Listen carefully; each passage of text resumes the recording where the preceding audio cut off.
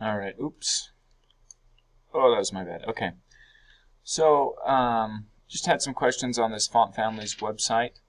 Um, unfortunately, my last um, video just didn't work out. So it was too long and YouTube wasn't accepting it. So anyways, believe it or not. Uh, some of the things I just want to go over. I've created this website right here. This is what I did in my last website. I mean in my last video. What I wanted to tell you though was that the style sheet, I don't mind if you keep everything when you create a new uh, REPL, but this link right here, something that you should be aware of, it's, it's already there. It links you to this style sheet down here. Okay, and this is how you do it. It's this tag, link href style.css. Uh, css. okay, and that's a style sheet. If I wanted to create a new style sheet, I'd say add file, and I'd say style2 .css and hit enter and it's another style sheet and I'd have to link it to that okay? So let's take a look at this the link. So this is where it's linked to. Right now I've got body background color corn color corn silk okay? Um, over here I've got background color red. Why isn't it red? Okay so the link down below is priority. If the link was up here let's see what happens if we move the link up here Okay, let run. And All of a sudden the background color's red. Okay, I'm just showing you what takes priority here. Okay, so just this link, it might help you clean it up. I like keeping them in the same um, page for these short assignments so that you just can keep track of everything. Okay. Let's take a look down here. So Times New Roman right here. The fun thing that I did for the fonts, I just created a table, did font families, created a table. So if you want to get fonts and font families, you have to create either a, a class name right here. So you can say class equals times, and you can come up here and say font family equals Times New Roman. Okay. Um, you could change that to, you know, whatever you want. So I'll do the next one. I'll do the next one is Jokerman. So I'll put Jokerman font. I'll hit run. And, oh, spelled it wrong. See, and there you go. Okay, but I'm going to put in times new Roman. The default is times new Roman, so no big deal. The other way that you could do it is right here. You could say style equals, and here we're just creating a style sheet within there. Now, what takes priority if I put a style up here? So let's say I just put here, let's, let's say I did this, I put style as well equals and I'll do it here first. I'll say font family, font family, and I'll treat it just like CSS. I'll say Jokerman, there, I'll hit run, and there it is. Okay, or I could say style equals, and I'm going to put Jokerman here as well. So font family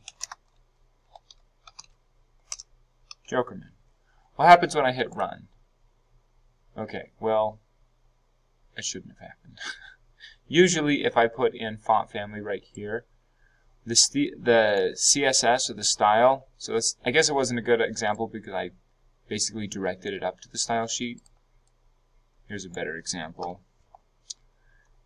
Um, how about the background color? Okay, so if I go to my body right here and say BG color red, hit run, nothing happens. Okay, so if I were to delete this link and delete this background color right here, then I hit run and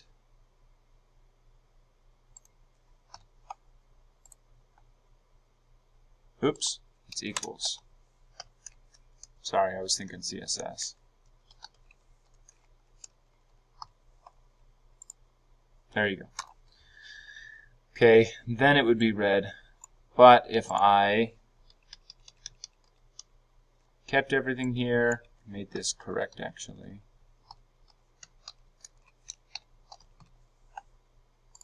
hit run, it would still go with the priority levels. So here are the priority levels. Whatever's first in your head, okay, so that's the priority, or sorry, whatever's last in your head. I don't know why, that doesn't make sense to me either. But whatever's last, you'd think it was whatever's first, but it's whatever's last.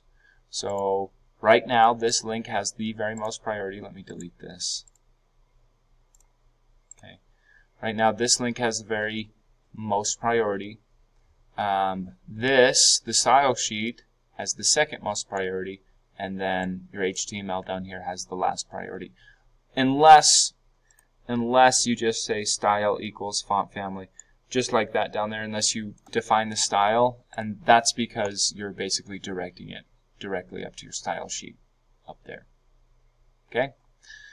So, that's basically how I want you to do this. Just say style equals and say font family.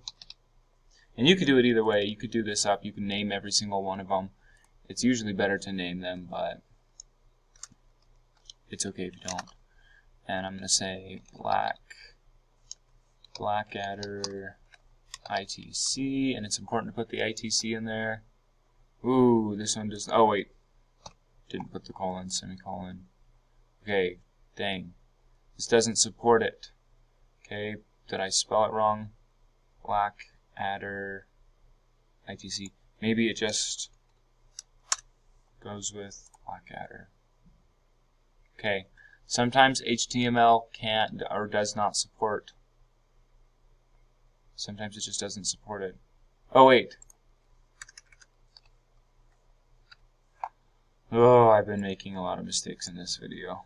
I'm sorry. I say font family, Blackadder, hit run. I need to put in the ITC.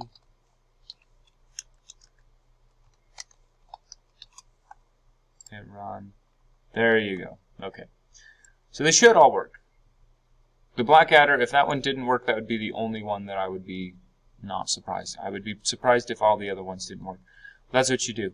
So for Times New Roman, is it a serif? Yes, it is. So I'm going to put a little X right there. Is it anything else? No. It's just a serif, so I'm going to put an X. Jokerman, what is that? That is decorative, right? So I'm going to put an X there. Okay.